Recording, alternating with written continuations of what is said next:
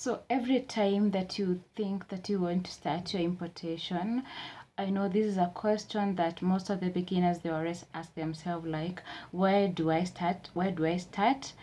Uh, how much do I need? What are the procedures should I follow? How should should I avoid getting scammed by the so-called scammers? Um, and so many other questions and so that's why i'm here guys. And uh, so hi guys. My name is monica and welcome back to my youtube channel. On this channel you can see from the title it's just shake it off. So in here we'll be just shaking off things you know? And we'll be learning a lot of things especially things to do with business and importation among other things that we'll be sharing out in this channel so guys without any further ado let me jump directly into the video. And guys please make sure you make maximum use of this information because i'll be highlighting some of the major steps that you need to take while you are deciding on importing. And later on in other videos i'll try to break down them into each video so that you can get a clear picture of how the entire process of importing. Take advantage of this. And the reason as to i'm saying you should take advantage of this because go on youtube and look in other places you will not get such free information. Such information is always given given on master classes but i'm here offering free information. So make sure you do take uh, maximum advantage of this as I provide it okay? So we can jump uh, directly into the point. So what are these major steps that you need to look at when you want to import your product? The first thing that I usually say you need to decide on the kind of product that you want to import. And when you're deciding on this you need to do a very thorough market research especially for those people who are who are not in business how do i want to say this? I mean like maybe currently you are not operating that particular business. The product that you want to import you are not operating in it.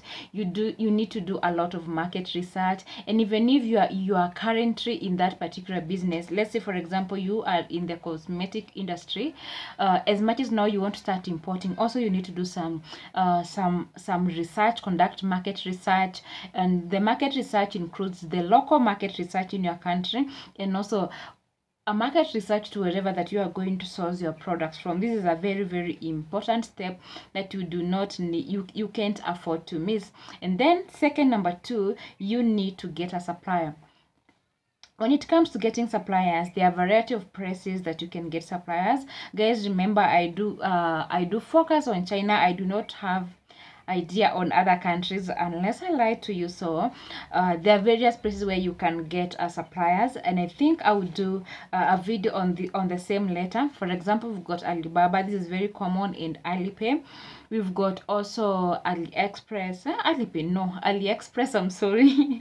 and then we've got Pinduoduo, Taobao, 1688.com oh my goodness. Uh made in china. Mm, i'm forgetting the others. There are so so many. So and also i can also provide suppliers because guys you know i have really i have uh, previously lived in china and so i've got a number of contacts which maybe i can share but i don't provide them for free. So if you need a reliable supplier then you can always get um to my inbox and i'm going to provide this. So once you've got your supplier the, the next thing that you need to do i'm assuming at this very stage you are you are you are really communicating with your supplier supplier then you, you need to confirm and agree with your supplier uh, on terms of the price quality and quantity. And these are very important factors. For example the price of the commodity. You need to know the price of the commodity because the price of a commodity uh, determines how well are you going to be able to sell right? And maybe if whether you can afford this kind of a product. When it comes to quality you know depending with your target audience then the quality of the product here comes in. And also on the quantity this is about the moq you need to agree with your supplier the, the, the moq that you can you want to buy and also maybe fit to their terms or whatever the case you need to agree on something. Then after that the the other important step which is step number four you need to calculate the actual price of a product. And guys this one is very very important and i know most of us we do miss this step. And if you miss this step you know the purpose of a business is making profit and so if at all you happen to miss this step then you are not doing anything you're not you're not doing any any business you know and even if you're doing it proper probably you are you're operating at a loss okay um so what do I mean by ca calculating the actual price of a product? Remember the buying price, that the buying price alone, that one does not indicate ile bei mzigo inakufikia nayo. Remember there are other costs associated with this product. For example if it is in china we've got the quid cost this is the transport cost within um they call it quid quid yeah they call it quid your transport charges um in china. Then from there you also need to consider uh shipping from china all the way to your country. Then that there is that there's that uh shipping cost that you need to put in mind. Yeah i guess those are the major major major uh, major cost. And so eventually with this you're able to determine at what price am I getting? At what price am I able to get this product at? And once it arrives to my country at this price, am I able to sell it and make some profit? So this one before even you decide you import the product, you decide to pay for that product. You need to do the actual calculation and decide whether it's making sense or not making sense. You know, ukisema oh hata have you ever had this kind of a story? Someone saying that oh hata kuona I don't know the price of this product, uh, the shipping cost cost is actually double uh double than um, what do they say? They say double than the buying price. It's because sometimes you make some of these importation mistake please please please please don't make this kind of mistakes yeah? So you need to learn how to calculate the final or the actual uh, price of the product.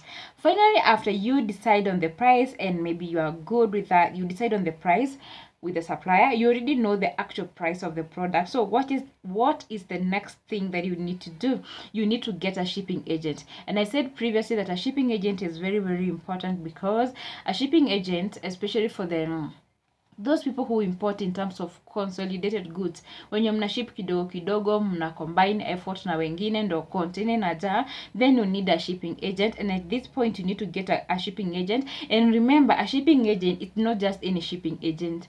You need to look for a reliable shipping agent. I'm not saying that of course kila agency sometimes inakuanga na two challenges hapa kule but at least look for the most reliable at that particular moment because you'll find for the agent sometimes unapata ika season wako sawa sichomi biashara. This season wako sawa. The next season napata wako na two issues. So you need to get a very good reliable agent an agency that you know. If they promise that your product is going to arrive by this time they are honest. There are people who communicate telling whether they, they have already received your product or not. So you need such um you need such a shipping agents and, and people if for example you are going to import what do you call this product? Not perishable. Vitu zinaweza break. Hey, english is not coming hizo vitu zinaweza break. Then you know that these people are going to take good care of your product and they are going to arrive safely okay? And also with your shipping agency make sure that you decide on the most appropriate method for you to ship for you to ship uh, your product. Remember we've got two shipping methods. We've got air and also we've got uh, sea and also as you decide on this i'm pretty sure that your supplier is going to show you the, the advantages and the disadvantages. But if at all you're subscribed to this channel all this i'll be i'll be telling you. And then even before you go to your shipping agent you already know what kind of a method do you really want to to use when importing your product depending on so so many factors that i'm going to highlight later on. Okay. Then the sixth uh, step which is so easy you have already agreed with, with the supplier that your goods are going to arrive in one week in two weeks in maybe after 30 or 45 days depending with the shipping um, method. Then after this what do you do? You just wait sit and wait for your product to arrive. But i'm hoping at this time you you already i'm assuming that maybe you have already paid your your shipping agent okay? So that is it. That is it for the so guys i hope that you have understand the entire process. And guys in our today's chinese corner i'll be teaching you a vocabulary. And the vocabulary is did you understand?